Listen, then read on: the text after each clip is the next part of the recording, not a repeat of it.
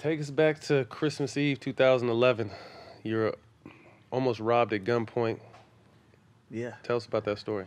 Yeah, so I uh, I get my hair cut in the hood in Philly. Philly, it's grimy out 22nd there. Indiana. Just keep it real. You do everything in the hood. You ain't never I do. changed. You do Yeah, everything in the hood. it is what it is. So. And let me tell y'all too, if you look on the map in on Atlanta, Georgia, you're gonna see Lou Willville.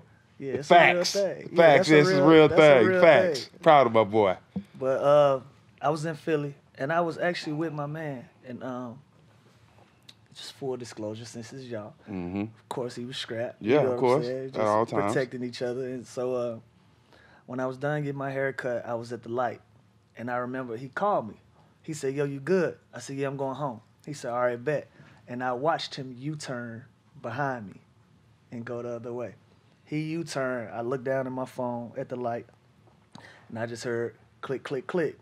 Somebody knock on my window. So I'm like, fuck. Look up.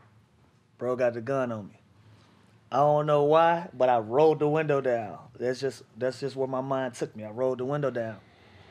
And he like, get out the car. And I said, huh? And when I said, huh, he looked at me, he said, Lou, I can't even do it to you, bro. I got too much love for you. Mm.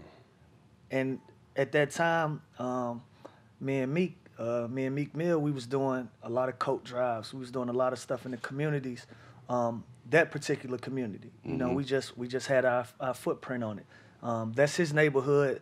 Um, Philly had adopted me, and so whatever I was doing over there, he would get behind me. Whatever he was doing, I would get behind him. Nonetheless, we was doing a lot for that community at the time. And the dude said, he said, man, I can't even do it to you. He said, man, I just got out of jail. All I got is this gun and a bus token to get home, bro. I ain't got nothing to eat. And I just was thinking fast. I looked, I said, look, bro, it's a McDonald's right there. You meet me at the McDonald's. I'll buy you whatever you want to eat. He said, all right, cool. So my first thought was, do I let him get in my car? Mm-hmm. I was like, hell no. so I just, I started driving first. Yeah. So I drove, went into the McDonald's, and I watched him running across the street to the McDonald's. So while he running to the McDonald's, I call my man Yeah, like, pull "Yo, back up." pull back up!" I'm like, "Pull up to the McDonald's, pull up to the McDonald's." So they they made the story like I sat down and ate with him on some. Nah, hell nah.